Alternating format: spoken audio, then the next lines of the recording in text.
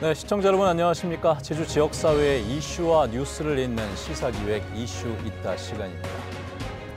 바로 20년 전 오늘이었습니다. 제주 4.3이 국가 권력에 의한 잘못이었음을 인정하는 대통령의 첫 공식 사과가 이루어졌었는데요. 자, 오늘 이 시간에는 대통령의 사과에 이르기까지 4.3의 진행 과정과 또 향후 4.3이 나아가야 될 방향에 대해서 이야기를 이어가 보도록 하죠.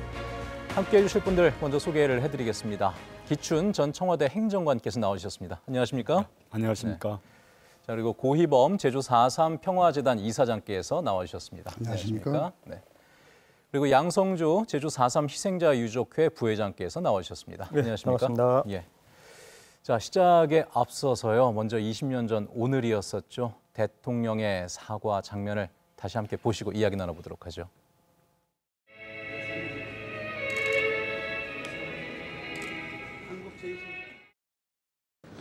저는 이제야말로 해방 직후 정부 수립 과정에서 발생했던 이 불행한 사건의 역사적 매듭을 짚고 가야 한다고 생각합니다. 제주도에서 1947년 3월 1일을 기점으로 하여 1948년 4월 3일 발생한 제주 남로당 제주도당의 무장공기 그리고 1954년 9월 21일까지 있었던 무력 충돌과 진압 과정에서 많은 사람들이 무고하게 희생되었습니다. 저는 위원회의 건의를 받아들여 국정을 책임지고 있는 대통령으로서 과거 국가 권력의 잘못에 대해 유족과 제주도민 여러분에게 진심으로 사과와 위로의 말씀을 드립니다.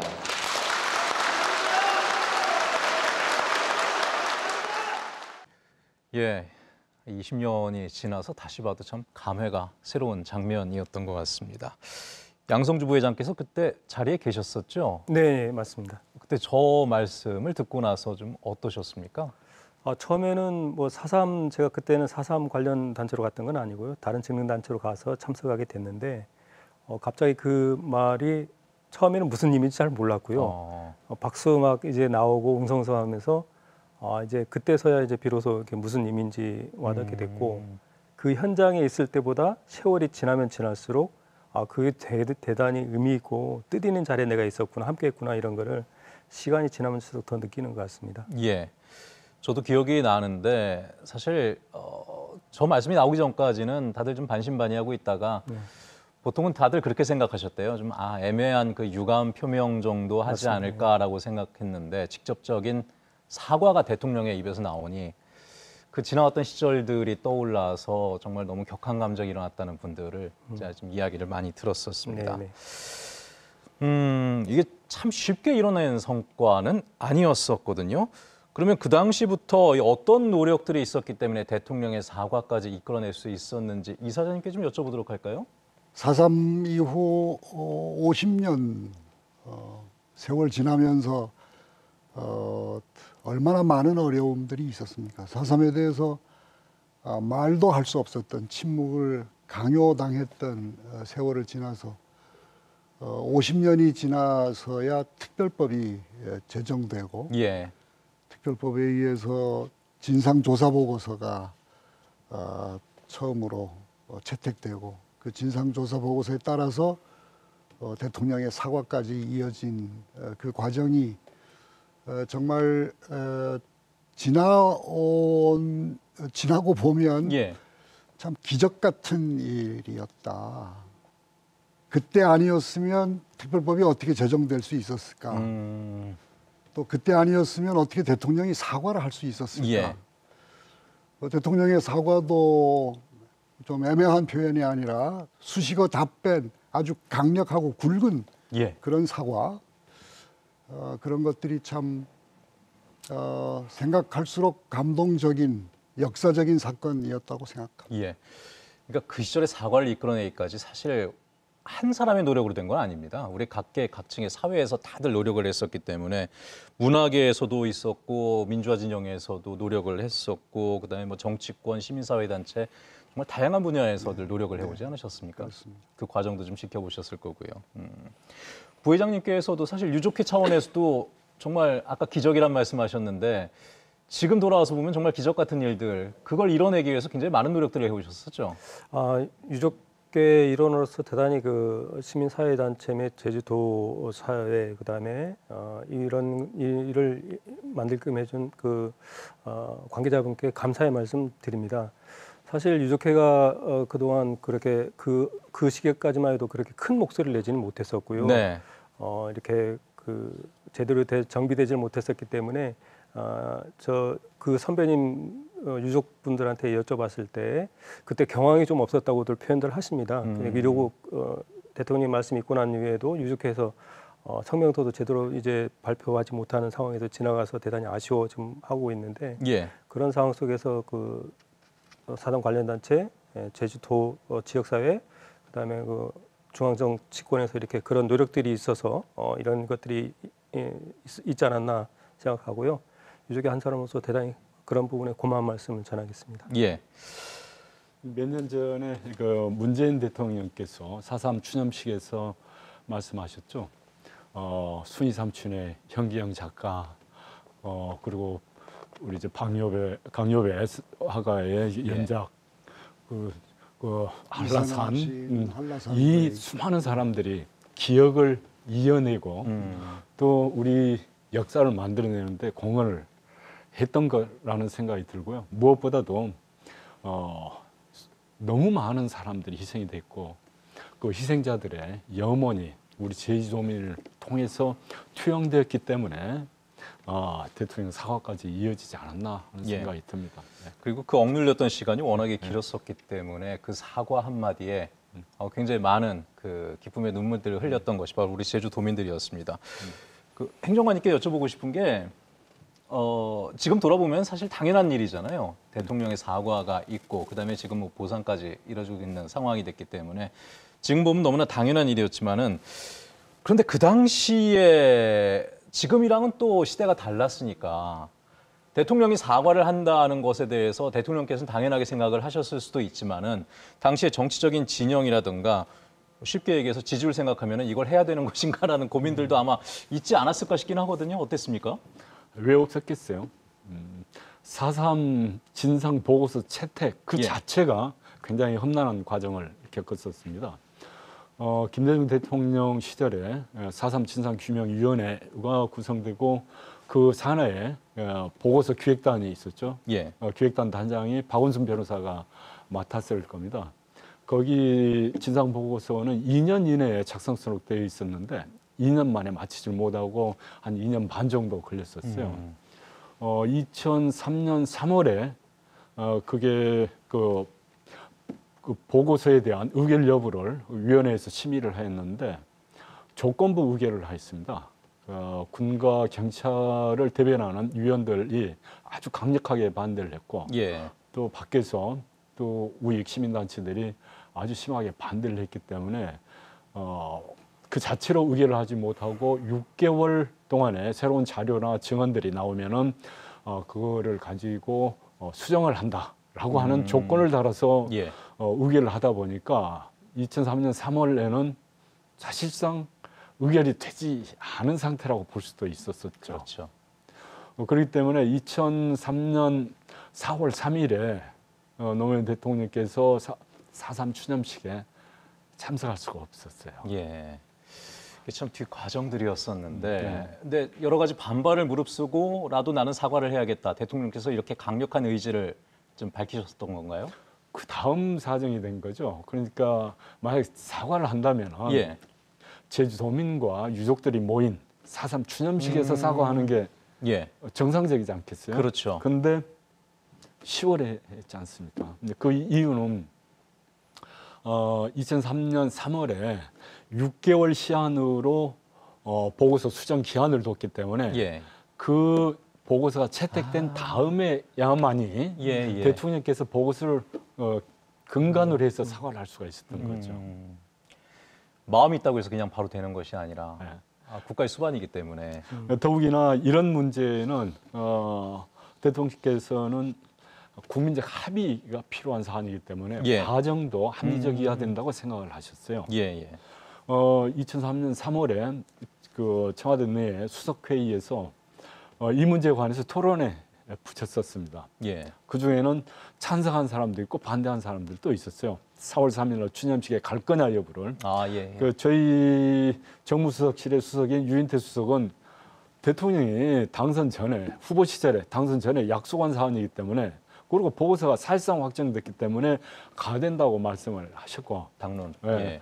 또 김상 국방보좌관 같은 경우는 예. 예. 아직 확정이 덜 됐으니 그리고 반대가 심하니 음. 가서는 안 됩니다라고 그렇게 예, 논쟁을 하고 예. 그 중간에 또 몇 분들이 절충안을 거쳐서 보고서 확정되면은 내년 그러니까 2004년 4월에 갑시다라고 그렇게 음. 잠정 결정을 내려오는 상태였었죠. 예. 음. 그 과정 뒷얘기 들으니까 그때 기억이 좀 새록새록 나는 면들이 있었고요. 왜 음. 이렇게 이어져 왔던가에 대해서도 아마 이해들이 잘 되실 것 같다는 생각이 듭니다. 그런데 어, 제가 이제 수석회의에서 나온 결정을 어, 사삼위원회에 제가 통보를 했는데 찾아오신 분들이 어, 김한욱 국장하고 양정훈 수석 전문위원인데 어, 김한욱 국장은 나중에 제주 부지사 하셨죠. 그리고 양정훈 수석 전문위원은 사삼 평화재단 이사장 하신 분들인데 제가 그 말씀을 드리니까 거의 눈물을 글썽거리더라고요. 예. 거기에서 나오는 심한 좌절감이랄까 실망감이랄까 그게 꼭 자기 부모님 상을 당한 것처럼 어려워하더라고요. 저는 그 눈빛을 지금도 20년이 지났지만 잊을 수가 없어요. 정말 제주도민들의 염원을 담아가지고 저를 쳐다보는 것 같더라고요. 예, 예. 그 감동 때문에 제가 그 이후에 또 일을 추진하는데 굉장히 큰 힘이 되지 음. 않았나 싶기도 합니다. 좀 수월하지 못했던 과정들이 분명히 있습니다만은 결단이 있었고 그것이 사과로 이어져서 우리 도민들에게 아주 큰 선물이 됐던 것이 제 기억이 납니다. 자 그러면 어, 사과까지 받아내고 이 받아냈다는 표현은 좀 그렇긴 합니다만 사과가 이루어지게 됐었고 그 다음에 그것이 이제 분기점이 됐습니다. 어떻게 보면 분기점이 되면서 제도 차원에서도 많은 변화가 일어나는 그런 계기가 됐다고 생각을 했는데 어, 어떤 변화가 가장 크게 다가오셨는지 그 사과 이후에 그다음에 이제 어떤 그 변화들이 있었다고 평가를 하시는지 좀 이사님께 여쭤볼까요? 우선 그 사과는 어, 우리가 과거의 잘못을 어, 사과하고 예. 뉘우치는 어, 그런 문명 국가임을 드러낸 어, 것이었고요. 또 우리가 평화와 인권을 존중하는 인권 국가에 살고 있다는 자부심을 느끼게 해준 어, 그런 사건이라고 생각을 합니다. 그런 점에서 의미가 있는 건데 어, 그 후에 그 사삼의 해결 정부 차원의 사삼 해결 과정에 아주 박차를 가하는 그런 계기가 됐다고 하는 점 예. 그리고 그동안 침묵을 강요당했고 사삼에 대해서 얘기도 못하던 그런 상황에서 어, 희생자들이 그 사삼의 피해자로 인정이 되고 네. 어, 그래서 이제 그, 이, 어, 감춰지고 묻혔던 그런 사삼의 역사가 아, 대한민국의 역사로 자리매김되는 음. 어, 그런 그 획기적인 변화가 시작이 됐던 거죠. 그래서 그 후에 어, 그 어, 제주도에서 유해 발굴 사업이 시작되고 평화 공원이 만들어지고 사삼의 해결을 위한 구심체로 사삼 평화재단이 설립이 되고 어, 이런 구체적인 해결 과정들이 어, 대통령의 사과를 시작으로 어, 진행되기 시작한 예. 그래서 마침내 어, 물론 20여 년의 세월이 더 지나야 했지만 음. 어, 국가 보상과 또 직권 재심에 의한 구체적인 명예 회복 이런 조치까지 이르게 된 어, 과정의 그첫 시발이었다 예, 예. 어, 생각합니다. 그렇죠. 물론 저희 이그 사과를 계기로 그, 그 공적인 저- 그- 그, 어, 에서 국가 어, 통 최고 통치자가 이제 사과를 하면서 모든 그 기관이나 이런 데서도 다 이렇게 그거에 맞춰서 움직이게 돼 있지 않습니까? 예. 뭐 물론 그런 것도 있지만 저희 유족들 입장에서 보면 그 누군가에게 자기 아, 부모 형제가 죽음을 당하고 이 재산이 뺏기는 상황이 됐는데 누군가는 내 잘못이라고 얘기하는 사람이 단 한 사람도 없었던 거죠. 근데 그런 거를 국가 최고 어, 대통령인 통치자가 어, 국가 공권력에서 당신들이 이제 무고하게 희생됐다고 이제 사과해 주는 것이 예. 그동안 이 유족들 가슴에 정말 응어리 됐던 게쑥 내려가는 그런 기분을 느꼈다는 사람이 상당히 많습니다. 음. 예, 예. 저희들이 그 가끔가다 유족들 가서 인터뷰나 할 때 당신 당신이 사삼 해결하는데 가장 큰 영향을 주고 마음에 저 하늘을 찌르는 게 어떤 거였습니까? 물었을 때 그 대통령 사과를 얘기하는 분들이 많아요. 아, 네, 그만큼 유족들에게는 그 보이지 않는 마음의 그 응어리나 한 같은 걸 푸는데 많은 역할을 했다고 볼 수 있고요. 또 진정성 있게 느끼는 게 뭐냐면 대통령께서 말씀하실 때에 그 특별법에 있던 이런 문구를 그대로 쓴 게 아니고 예.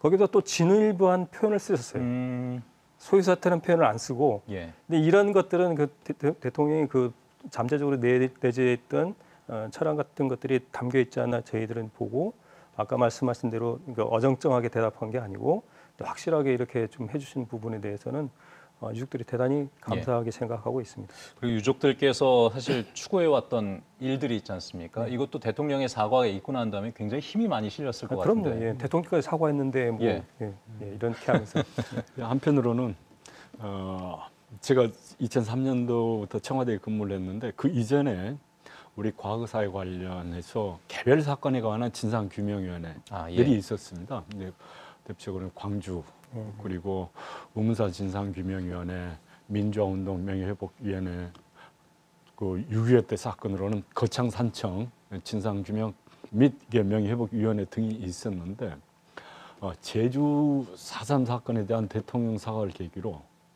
어, 육지에서 벌어졌던 비, 이와 비슷한 사건에 관한 진상 규명 요구도 많이 생겼고 음, 그 그걸 해결하기 위한 움직임도 그때부터 본격화됐다고 볼 수가 있습니다.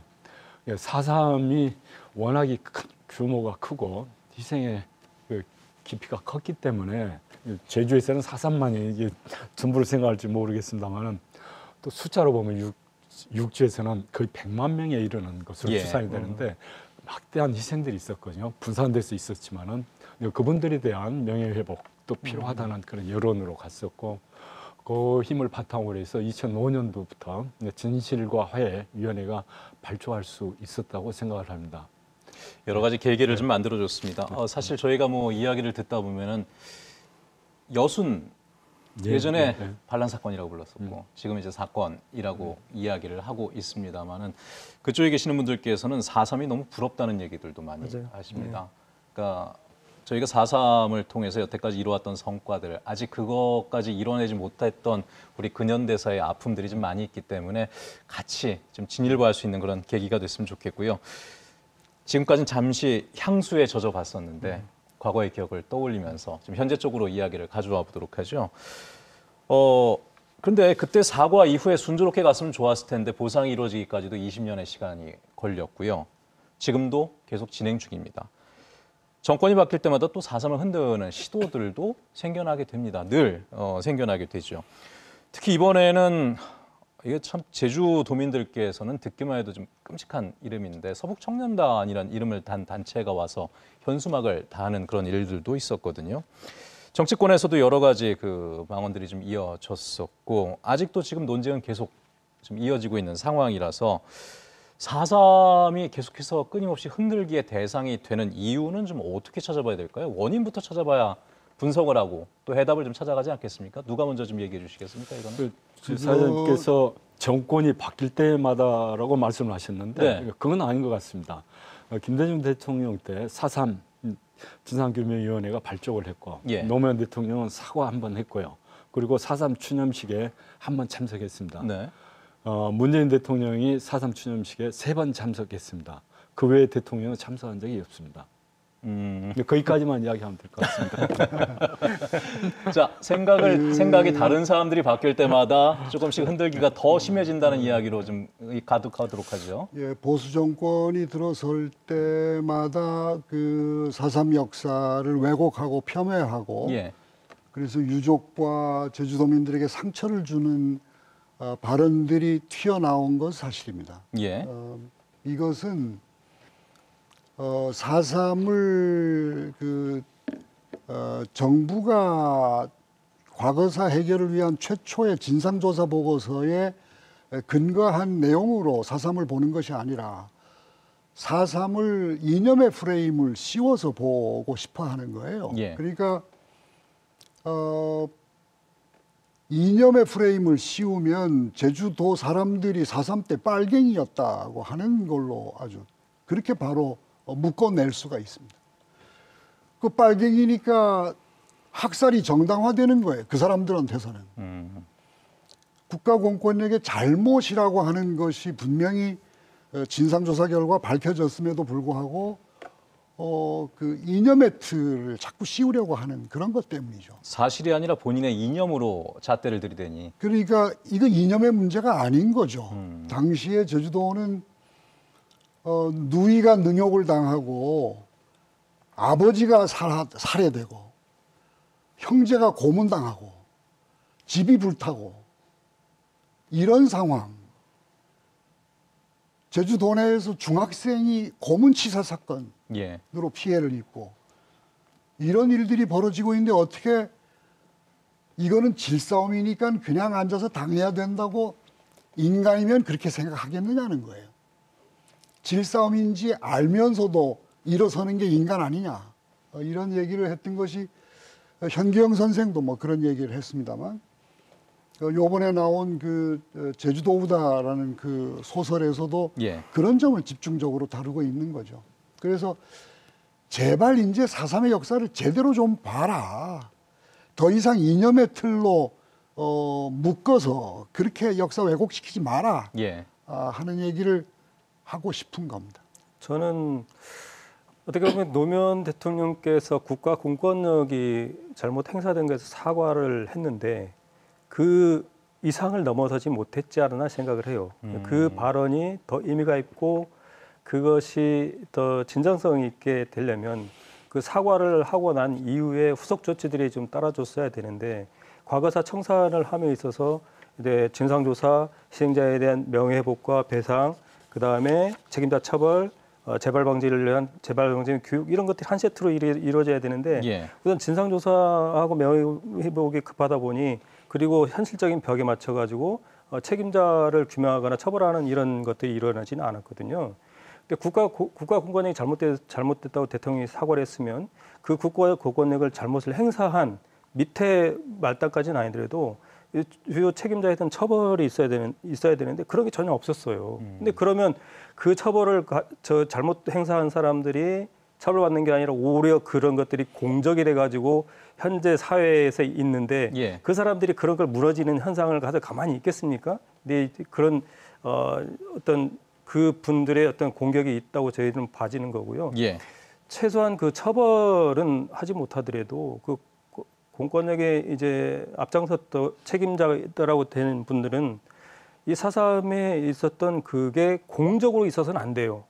근데 최소한 그 서운을 어, 취소하거나 그 사삼의 공 사삼에 진압작조했던 책임 주요 책임자들은 사삼의 기간에 있었던 그런 것들이 공적에서 삭제를 하는 이런 조치라도 최소한 국가에서 했어야 예. 예. 어, 뭐 이런 논쟁이 좀 없지 않을까 하는데 저희는 그런 부분은 조금 더 어, 향후에 어떤 식으로 될지 모르겠지만 대통령이 그 어떤 국가공권력의 책임 아, 사과를 했으면 그에 대한 완결성은 그런 걸로서 좀 나타나야 되지 않나 저는 그렇게 생각을 합니다. 행정관님 왜 저게 그때 안 됐었을까요? 지금 말씀하신 내용들이. 정치적 지형과 그리고 속도감이 많이 다른 것 같습니다.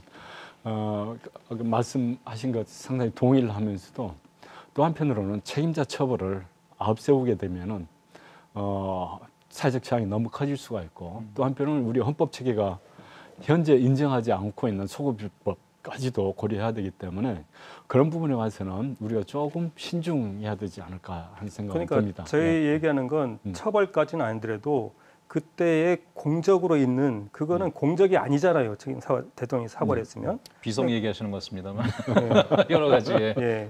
뭐 그, 그런 서운에 대한 그거에 대한 공적은 그 분들의 경력에서 빼는 조치는 해야죠. 음. 예, 그것까지는 동의하고요. 네. 그것도 역시 법적 절차를 거쳐야 되기 때문에 네. 어, 우리 국회가 그 논의를 좀 해줘야 됩니다. 음. 그거는 또 국회한테만 맡길 수 있는 게 아니고 우리 제주도민과 시민사회가 함께 협력해서 국회를 압박해야 되겠죠. 관련된 이야기 하다 보면 늘 민간에서 바라보는 속도와 정치권에서 바라보는 속도는 굉장히 좀 차이가 네. 많이 있더라고요. 그래도 계속해서 타협점을 찾아가면서 지금까지 온 것이 보상에까지 이르게 된 어, 지금의 현실까지가 아닐까 싶기도 하고 다만 저희가 늘 말씀드리지만 보상이 이루어지고 있다고 해서 4.3 문제가 완전히 해결된 것은 절대 아닙니다. 지금도 계속 진행형이고 그렇다면은 뭐 정부 차원의 추가 진상조사, 뭐 보상금 계속 지급하는 문제라든가 심지어 지난 대선 때 배상 얘기까지도 나왔었잖아요. 그러니까 남아있는 4.3 현안들이 많은데 그렇다면 이제 지금 정부에서는 이 4.3과 관련된 앞으로의 그 해결 의지에 대해서는 어떻게들 바라보고 계시는지 그 부분도 한번 좀 여쭤보고 싶습니다. 이번에 비서관님부터 좀 여쭤볼까요? 예. 행정관님부터. 행정관입니다. 예, 예. 어, 조금 저 아, 답답합니다. 지금 우리 정권이 어, 과거에 우리의 아픈 역사를 해결하려는 의지가 있는지 좀 의문이 드는데요. 아까 우리 저 고이범 이사님께서 말씀하시다시피 사삼 사건은 국가가 불법적인 공권력을 행사함으로써 우리 국민들이 심각한 인권을 침해당한 사건이지 이게 이념의 문제가 아니거든요. 국가가 불법적인 행위를 했다면은 당연히 책임을 져야 되는 행위죠. 피해 자체를 원상 뭐 생명을 다시 되살릴 수는 없겠지만은 사과하고 어, 회복시켜주는 일을 해야만이 국가가 국민들로부터 지지를 받지 않겠어요. 우리 매일 의뢰 때마다 국민에 대한 어, 국회에 대한 맹세합니다. 나는 자랑스러운 태국기 앞에 조국과 민족의 무한 영광을 위하여 충성을 다할 것을 굳게 다짐합니다.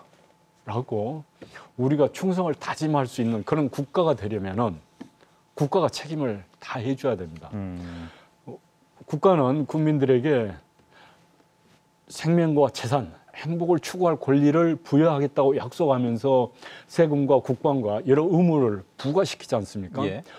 그리고 충성을 다하라고 요구하려면은 국가가 먼저 제 할 일을 다 해야 되겠죠.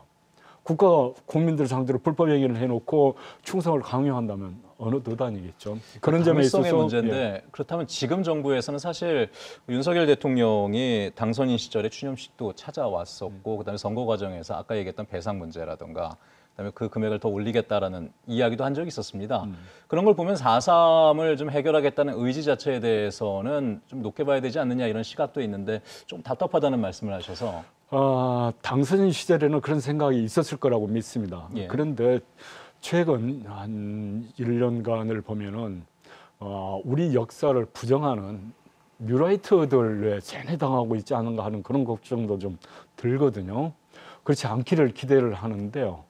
어, 가령 뭐 갑자기 건국절 논란을 한다든지 예. 또, 또 어, 우리 과거사 문제에 관해서 진실 화해를 위한 진상 규명 책임을 맡고 계시는 위원장께서 전쟁 시기에는 민간인들을 그뭐 재판 없이 어 있다. 뭐할 수도 있지 않냐 예. 이런 정도 사람들을 갖다가 지금 배치를 하고 있단 말입니다.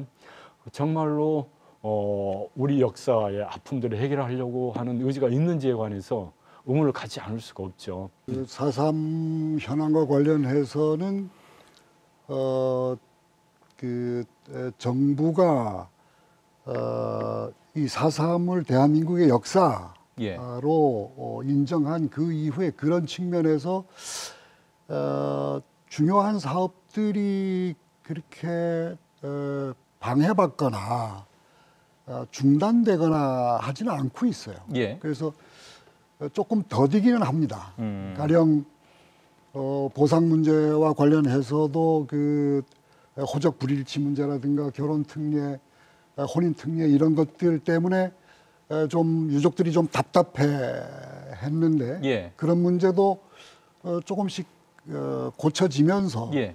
더디지만 가고 있어요. 거기다가 직권 재심으로 이제 그 어, 무죄 판결 받고 있는 그 어, 그 저기 저 군사 재판 일반 재판까지도 예. 어, 수용인들에 대한 구체적인 명예 회복 조치가 어, 계속 진행되고 있거든요. 어, 특별히 의심 가는 대목이 사삼에 관한 한 없어 보인다는 점입니다. 예. 가령 어, 중앙위원들 교체가 있었어요. 예. 사삼 위원회 위원들 논란이 좀 있었는데요, 그때도. 어, 10명이 교체가 됐는데 에, 7명이 보수 측 인사로 보이는 사람들이었습니다. 예. 어, 그래서 그 회의가 몇 차례 있었는데 어, 희생자 선정 어, 그리고 또 보상 분과 뭐 이쪽에서 회의가 있었는데 에, 들리는 얘기로 예. 어, 그 역사를 어, 왜곡하거나 폄하하는 어, 생각을 가지고 어, 그 일에 임하는 언행은 발견되지 않았다는 점. 예. 그래서 어, 윤석열 정부도 음, 이념 문제 때문에 여러 가지 문제들을 일으키고 있지만 사삼에 관해서는 어, 그렇게 크게 두드러지게 예, 예. 어, 뭐가 좀 잘못 가고. 음. 있다거나 뭐 이런 거는 보이지 않아서 어, 다행이라고 생각합니다. 이사님께서는 지금 발걸음이 조금 더뎌질 수는 있겠으나 큰 방향이 훼손되고 있는 것 같지는 않다는 말씀이시잖아요. 그렇습니다. 저희도 생각이 예, 같은 생각인데요. 예. 어, 보수 정권이 들어서면 약간 그 정권이 들어오면서 보수 쪽 우익 기사들이 이제 사삼을 조금 폄하하고 진상 보고서를 무력화시키지 못하니까 변상 보고서를 작성했던 사람들을 공격하는 일들이 이제 생겨나고 있지만 예. 그 이제 저희들이 사삼이 법률로도 이제 이제 저- 정의되고 이제 진상 보고서 나오고 또 어, 보상금을 하고 있지만 보상금 지급하고 있지만 그것도 법률로서 다 진행이 되고 있기 때문에 어느 정, 정부 입맛에 따라서 어느 한 순간에 딱 없애거나 이렇게 할 수는 없는 그런 지경까지 가고 있고요. 예, 예. 조금 늦어지더라도 어, 좀 그 도도한 그 큰 물결들은 이제 그냥 흘러갈 거로 봅니다. 좀 잠깐 늦어지더라도 예. 또 그러면 저희들이 또 가만히 있지 않고 또 불- 불편한 것들은 또 개선해 나가는 운동들도 예. 하고 이럴 거기 때문에요. 근데 뭐 사삼은 워낙 그 제주도 분들이 단결해 있기 때문에 예. 뭐 그렇게 크게 손대지 않은 걸로 보이는데 어, 다른 지역들에서는 이미 이제 영향들이 나타나고 있습니다. 아, 예, 아니, 예. 어, 6월 발굴이라든지 하는 데 대해서 예산 배정이 되지 않고 아, 예. 지연되고 있고 맞습니다. 어, 전반적으로 이제 퇴조 현상들이 음. 보이고 있습니다. 어, 아까 보상 문제를 말씀하셨는데 이미 참여정부 때 어, 배보상 문제에 관해서는 내부적으로 심도 있는 논의가 있었고 어, 추진 방안까지도 다 마련을 해놨었는데 결국 정권이 바뀌면서 그 후로 이제 10년, 15년이 지나버린 거 아닙니까? 예. 네. 어, 어떻게 보면은 지연된 정의는 불이라는 그런 이야기도 있는데 속도가 너무 늦어지면은 음. 그거는 유족들이나 또 제주도민들 입장에서는 어, 불의로 보일 수도 있는 측면들이 있죠. 더욱이 예. 또 어, 단결되지 않은 육지 분들한테는 네. 더더욱 이제 거기에 체감 온도가 더 세질 수밖에 없을 겁니다. 네, 예. 충분히 공감합니다. 과거에 저희가 어, 광주를 불호했던 적이 있었습니다. 네. 예. 어, 근데 지금은 이제 그 단계는 좀 넘어선 예. 것 같고 세 분의 공통적인 인식은 그래도 조금 늦어질 수는 있겠으나 앞으로 가는 방향은 잘 확고하게 잘 잡혀 있기 때문에 그것까지는 걱정 안, 안 해도 좋겠다. 4.3이 다시 뭐 공산 전체주의 이렇게 좀 매도당하는 일들은 생기지 않을 것 같다라는 말씀으로 들어도 되겠습니까? 역사의 그 도도한 흐름을 되돌릴 수는 없을 것이다. 예. 그 말을 듣고 싶어 하시는 분들이 아마 많을 것 같다는 생각이 좀 드는 대목이어서 요즘에 그 부분을 계속 좀 여쭤봤습니다. 자, 지금 뭐 보상 이루어지고 있죠. 그리고 지난 5년간 어, 제주도에 추진해왔던 4.3 기록물 유네스코 세계 기록유산 등재 추진도 어, 지금 자격까지 얻게 됐습니다. 이제 순항 중이라고 알고 있고 이제 어, 유네스코에 등록 되기만을 어, 좀 바라야 되는 상황이 됐는데 최근에 나오는 얘기들 글쎄 뭐 정부 차원의 이야기도 있고 민간 차원에서 진행되는 이야기들도 있습니다만은 사상과 관련된 눈에 띄는 소식들이 제가 말씀드린 대로 몇 가지 좀 있어서 이 부분은 좀 어떻게 잘 진행되고 있는지 궁금한데 이사장님 잘 진행이 되고 있나요? 그 유네스코 그 세계기록유산 등재 관련해서 예. 어, 조금 절차가 좀 복잡했습니다. 네, 네. 어, 처음에 이제 심사할 때 에, 재심사 결정이 났고 그다음에 조건부 어, 결정이 됐고 예. 세 번째 가서야 이제 어, 최종 결정이 됐는데 어, 지난 지난주죠. 예. 어, 처음부터 4.3이니까 좀 어렵지 않겠느냐 하는 그런 어, 염려들도 좀 있었어요. 어, 그래요? 네. 어, 그런데 문화재청에서 적극적으로 도왔습니다. 예, 예. 어, 그래서 심사위원들도 여러 가지 조언들 해주고 어, 나중에 최종 결정을 할 때는 이제 어, 영문으로 번역된 신청서를 가지고 심사를 했거든요. 예. 어, 그래서 어, 우리하고 같이 그 저 가결됐던 그 에, 산림 녹화 기록 예. 어, 이것은 이 조금 우리보다 더 많이 좀 지적을 받아서 거긴 조금 더 공부를 더 해야 되게 생겼어요. 음. 어, 어, 다음 달에 그, 어, 그 유네스코 본부로 이제 접수가 될 거고, 그럼 내년 상반기에 네, 논의가 돼서 내년 하반기에는 아마 결정이 되지 않을까 생각하고 있습니다. 예. 최근에 있었던 일 중에 그 어, 유해 발굴 관련해서 지난 어, 2006년부터 제주도 내에서 유해 발굴해서 411구 유해가 발굴, 아, 413구가 발굴이 예, 예. 됐죠. 그 중에 113분이 이 에, 신원이 확인되고 가족들을 찾았는데 어, 대전 형무소에 갇히셨다가 학살되신 분 유고를 찾은 거 아닙니까? 이번에 예. 예. 그 정말 어, 생각지도 못했는데 한번 해보자 했던 것이 에, 그래서 유족들에게 상당히 큰 희망을 안겨주는 어, 일이었습니다. 어, 대전 골룡골에서 3천여 명이 학살당한 세계에서 가장 긴 무덤이라고 불리는 예. 거기 제주도에서도 300여 분이 끌려가서 거기서 학살된 것으로 추정되고 있는데 거기서 발굴을 하고 있지만 어, 대전에서 하는 발굴은 어, 유족들을 찾기 위한 발굴이 아니고 수습하기 위한 발굴이에요. 아, 예, 그러니까 예. 어, 우리가 발굴하는 방식하고는 좀 달랐죠. 그런데 어, 재단에서 뼈 한 조각이라도 찾고 싶어하는 유족들의 열망이 있으니 우리가 발굴하는 유고를 그냥 버려둘 수 없다 싶어서 1,400 여 구를 발굴해 놓았는데 그 중에 200여 구를 시료를 채취했습니다. 예. 그래서 79의 유해에서 이제 DNA 감식을 했는데 북촌의 김한홍 영령님이 그 딱 맞아 떨어진 거 아니었습니까? 그 일이 있고 나니까 진화위에서 진실과 화유위원회에서 예. 거기 예산으로 다 감식하겠다고. 음, 예. 어 그래서 나머지 다 그렇게 유골들 그렇게 감식하게 됐고요.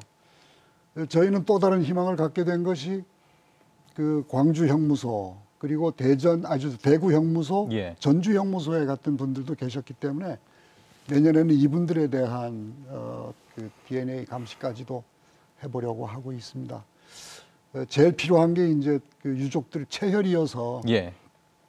이제 저희가 유족들 중에 이 행불인 유족들 중에 체혈 안한 분들 전화로 접촉하면서 어, 설득하고 있습니다. 이 체혈하도록. 부분에서는 제가 또 꼭 드리고 싶은 말씀이 그 저희가 그 대전 골룡골 유해 발굴을 한다는 얘기 듣고 그 민간단체에 하셨어요. 그래서 저희가 어, 봉사활동을 제가 자청해서 그 3년을 다녀왔고요. 근데 그 대전 골룡골이랑 광겸 여우골도 다녀왔는데 시신을 발굴하는데 아까 말씀하신 민간 단체라면서 유해를 DNA 조사하는 목적이 아니고 그냥 발, 거기를 병, 추모공을 만들다 보니까 그걸 발굴해서 어, 추모공으로 옮겼다가 나중에 화장한다, 화장한다는 얘기 들었어요. 행안부에서. 그래서 그 얘기를 듣고 제가 백방으로 다니면서 이 화장을 하게 되면 그 모든 게 다 없어지지 않습니까? 또 DNA를 나중에 예산이 예. 확보돼서 할 수가 없어서 샘플링을 해보자고 여러 군데를 말씀을 드렸고요. 근데 그런 거를 뭐 고위급 이사장님 취임하셔서 그런 거를 결정적으로 해주신 부분 되게 감사의 감사의 말씀드리고 특히 그 어, 대전 골룡골의 그 A 구역 지금 나온 그 A 구역은 그 보면 다 형무소에서 온 부- 일 거라고 추정되는 그런 유골이 집단적으로 나온 기록이 있어요. 근데 그런 부분 같은 경우에 좀 해주면 더 좋지 않을까. 그리고 그분들이 유해가 어, 어쨌거나 다 어, DNA 조도 하고 난 이후에 어, 화장을 하는 방법을 했으면 좋겠고 또 하나 이슈는 요즘에 그 왜곡 그 관련하는 이런 이슈들이 좀 있어서요. 예. 왜곡 대응하는 그런 것들을 유족회에서 지금 뭐 소송하면서 이렇게 하고 있고 오히려 또 저희들이 그 집회 방해 금지로 해가지고 그 어, 서북청내 후회라는 그 사람들한테 오히려 거꾸로 집회 방해 금지했다고 해서 이게 소송을 당하는 그런 일들이 지금 벌어지고 있는데 어, 이런 것들이 좀 시간이 지나면서 어떤 소송을 하거나 이 법리적인 일- 일들을 대응해야 되는 일들이 많이 생기고 있습니다. 네, 이런 이런 부분들을 어떤 평화 재단이나 이런 이런 데서 조금 이렇게 더 관심 있게 좀 봐주셔서 유족들 일 자체로 이렇게 대응하기는 좀 어려운 부분이 좀 있거든요. 예. 이런 부분들을 좀더 그- 신경 썼으면 합니다. 지금 뭐 사상 진상 규명도 추가 진상 규명과 관련해서 계속 되고 있고 그다음에 4.3에 아직도 이름이 없다는 것 이게 굉장히 아픈 그 일이잖아요. 그리고 미국의 책임을 그 묻자라는 그 주장들도 지금 계속 지금 힘을 얻어가고 있는 상황이기 때문에 지금 나아갈 길에 대해서 얘기를 하고 싶습니다. 세 분께서는 앞으로 지금 4.3과 관련해서 어떤 방향으로 진행이 됐으면 좋겠는지 어떻게 진행이 됐으면 좋겠는지 그 부분을 좀 듣고 싶은데 행정관님. 예. 네. 어, 저는 이제 전국적 단위에서 항상 볼 수밖에 없는데요. 예. 예, 우리 4.3 사건은 뭐 여러 가지 측면들이 있죠. 뭐 항쟁으로 볼 수도 있고 이 희생으로도 볼 수가 있고 뭐4.3 사건이라고 하는 건 중립적 용어니까 이해해 주시고요. 어, 4.3 사건은 규모가 크고 또 한편 지역적으로 모여 있는 그런 부분이기 때문에 아주 단결이 잘 되어 있죠. 그리고 맨 먼저 본격적인 진상 규명과 어, 명예 회복이 이루어진 일입니다. 어떻게 보면은 유사한 어, 6.25 시기에 수많은 그 민간인 희생 사건의 맏형과 음. 같은 역할을 하고 예. 있는 겁니다. 어, 그거를 인정하든 안 하든 맏형일 수밖에 없는 거죠. 그 사삼이 걸어가는 길이 아마 길이 될 겁니다. 육지분들에게도 따라서 그 맏형처럼 역할을 해주십사 하는 음. 것을 부탁을 드리는 바입니다. 예. 맏형이라는 말씀하셨는데 좀 길을 내달라는 어, 첫 발을 내딛게 만들었던 일을 해왔던 장모님께서 앞으로 또 숙제를 좀 던져주셨습니다.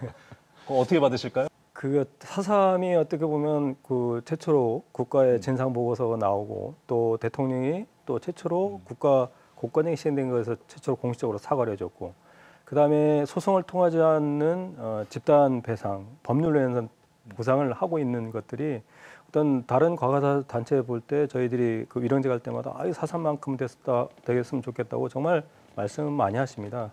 그런 부분 아까 앞에 계신 분이나 우리 재단 재단이나 이런 과, 여러 단체에서 이렇게 노력 계신 덕분이라고 보고요. 그렇지만 여기 보- 보상이 보상이 됐다고 이게 모든 게 다 절차가 끝나는 게 아니지 않습니까? 근데 보상은 아까도 말씀드렸던 그 과거사 청산의 일부분이고요. 네, 아까 사장님께서 미국의 처벌 얘기했지만 처벌은 아니고 일단 미국의 역할과 그 어떤 역할을 했는지 이런 규명 활동부터 먼저 예, 해야 저 됩니다. 처벌이라고는 안 하고 책임 규명이라고 아, 책임, 예. 책임, 책임 있는지 없는지는 저를 또- 크게 어, 아, 예. 흔드시려고 하는 것 같은데. 예, 죄송합니다. 제가 어, 그 어떤 그 역할이 어떤 역할을 했는지 이거 제대로 규명을 하고 예. 그때 그 당시에 미군정과 미국 정부와의 어떤 이런 어떤 역할들이 있었는지 이거 지뢰 진- 어, 물론 거기서 미군 미국 정부가 바로 미군정하고 연결된다고 하지만 그렇다고 딱히 거기서 또 왔다 갔다 하는 이런 것들이 실제로 규명은 되지는 않았잖아요. 이런 예. 부분들이 역할이 규명이 좀 되고 그리고 난 다음에 뭐 책임 문제도 나중에 어, 이제 얘기가 될 거라고 보여집니다. 뭐 그런 것들과 함께 아까 말씀드린 대로 사삼의 어떤 그 이름 찾기 운동 이런 예. 것들이 어느 그런 단위들이 이제 진행이 나면 이제 얘기가 돼야 될 거라고 보여지고요.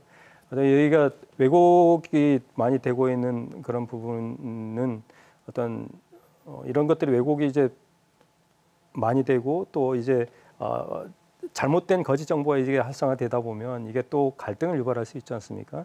어, 뭐 요즘 많이 얘기하는 화해하고 뭐 상생하는 이런 차원 차원에 예. 멀리 봤을 때에는 어, 이렇게 좀 갈등이 이제 없이 가게끔 하려면은 어떤 음, 그런 대응에 대해서도 조금 어, 현명하게 우리가 대처해야 될 게 아닌가 생각하고 그 예. 교육 활동 같은 것도 세대 전승을 위한 교육도 활성화돼야 되지 않을까 생각을 합니다. 4.3의 근본적인 목표는 사실 화해와 상생이죠. 네. 예. 이사님께도 좀 여쭤볼까요? 어, 어, 올바른 역사를 기억하는 것 어, 그것이 대단히 중요한 것은 어, 기억하지 않는 역사는 언제든지 다시 발생할 수 있다고 하는 것 네, 때문이죠. 네.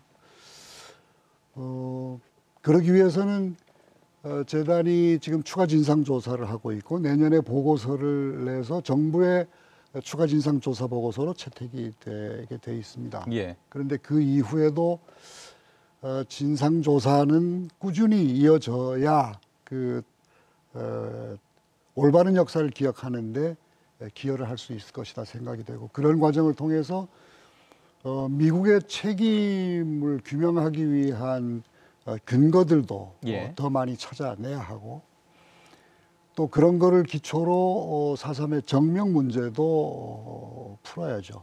음. 어, 4.3의 이름이 없다고 하는 것은 4.3의 성격 규명을 아직 제대로 못했기 때문에 그렇습니다. 음, 어, 5.18은 광주 민주화 운동이 됐고 어, 동학난이라고 불리던 어, 그 동학은 동학농민혁명으로 이름이 붙었고 예. 음, 그런데 제주는 아직 제주 4.3이라고 불리고 있는 거죠. 그래서 어, 그런 것들을 위해서도 어, 조사 어, 계속돼야 한다 생각하고 있고요. 어, 후대 전승도 정말로 중요합니다. 4.3이 우리에게 주는 교훈이 어, 평화와 인권, 정의, 자주 어, 이런 것들이라면 어, 그런 교훈을 후대에 전승해서 어, 정말로 제주도가 어, 평화와 인권의 아이콘이 되고 어, 평화와 인권의 상징 섬이 돼서 어, 정말로 제주도민이 또 대한민국의 국민들이 어, 평화와 인권을 누리는 어, 지역에서 나라에서 어, 살 수 있게 에, 되도록 하는 것 예. 어, 그것이 어, 그런 후대 전승의 에, 역할이자 의미라고 생각합니다. 예. 오늘 처음 방송을 시작하면서 고 노무현 대통령의 그 말을 다시 한번 들어봤지 않습니까? 다시 좀 가슴에 들어왔던 문장이 있었는데 제주도에서 1947년 3월 1일을 기점으로 하여 1948년 4월 3일에 발생한 이 말씀을 하셨었는데 사실 이 문제 갖고도 아직 싸우고 있습니다. 우리 사회는. 저 그 연설문 초안을 작성한 예. 사람으로서 말씀드린다면은 사상 진상 규명법에 적혀 있는 문장 그대로입니다. 예. 근데 이그 기점에 사과 대해서 그 자체가 그 법률에 근거해서 성격 그렇죠. 아, 예, 규명을 예. 하다 보니까 그래 된 겁니다.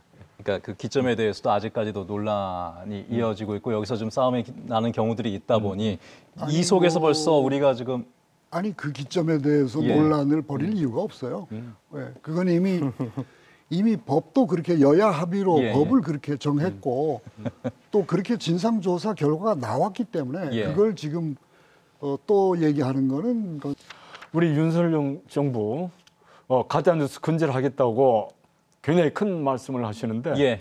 사상 관련 가짜 뉴스부터 예. 빨리 정리해 주시기 바랍니다. 알겠습니다. 자, 세 분과 함께 4.3의 20년 전 오늘 그리고 오늘까지 또 미래까지도 짚어봤습니다. 앞으로 이 4.3의 정명을 위해서 세 분께서도 노력해 주실 것을 믿으면서 오늘 이 시간을 마무리하도록 하죠. 세 분 오늘 고맙습니다. 네, 고맙습니다. 예, 고맙습니다.